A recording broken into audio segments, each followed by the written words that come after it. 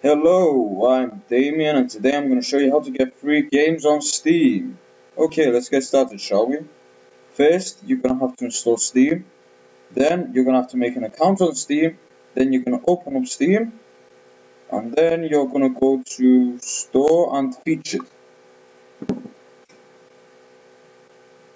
Once you are here, you are going to come to Games, Free to Play, you're going to find the game that is going to be interesting to you. This looks very interesting.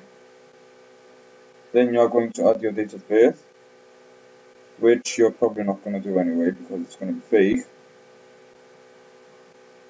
Then you are going to come right over here and press play game. And there you go. Free games. Downloading on Steam. Awesome, eh? Okay, now that we have that cleared, I can finish this video and we can all be happy. Bye bye now. Take care.